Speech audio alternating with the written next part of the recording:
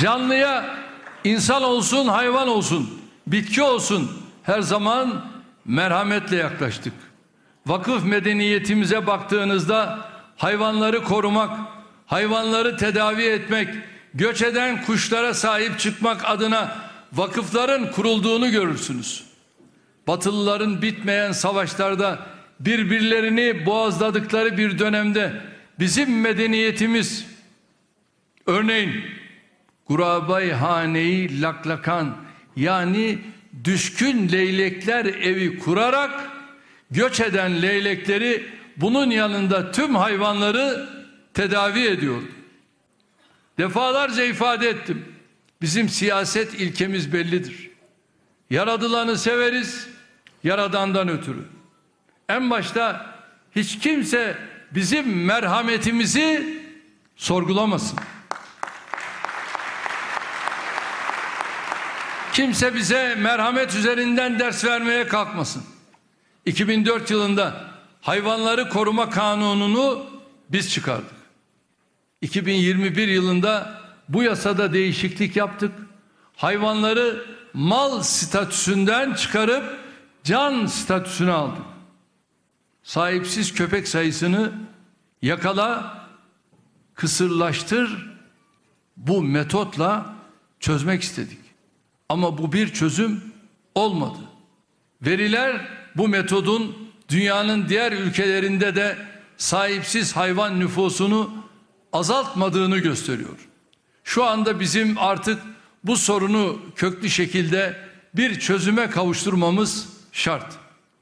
Bu meseleyi çözmüş ülke örneklerini inceliyoruz. Tüm taraflarla istişare halindeyiz.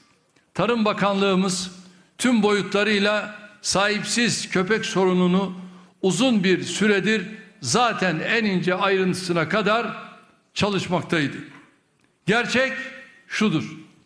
Toplumun çok büyük bir kesimi bu meselenin bir an önce çözülmesini sokaklarımızın başta çocuklarımız olmak üzere herkes için güvenli hale gelmesini istemektedir. Bu talebe, bu çağrıya hatta bu çığlığa kayıtsız kalmamız düşünülemez. Burada şu hususun altını özellikle çiziyorum. Mevzuatta yapacağımız değişiklikle biz sahipsiz köpeklerin sahiplenilmesini amaçlıyoruz. Bu değişiklikteki yegane hedefimiz budur. Hazırlıkları devam eden kanun teklifiyle köpek bakım evi olmayan yerlerde hemen bakım evleri kurulacak. Sahipsiz hayvanlar bu bakım evlerinde tutulacak. Ayrıca sahiplenilmeleri için kampanyalar yapılacak. Sahiplenilen hayvanlar kısırlaştırılacak, aşılanacak ve çip takılarak sahibine teslim edilecek. Bundan sonra da çok sıkı takip edilecek. Biz istiyoruz ki barınaklara alınan tüm hayvanlar sahiplenilsin.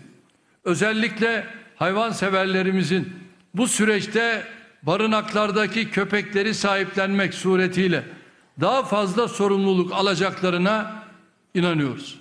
Aynı şekilde belediyelerin yasanın kendilerine yüklediği görevleri en güzel şekilde yerine getirerek sürece olumlu katkı sağlamasını bekliyoruz. Eğer bunu başarabilirsek bir sonraki adıma da ihtiyaç kalmayacağını düşünüyoruz.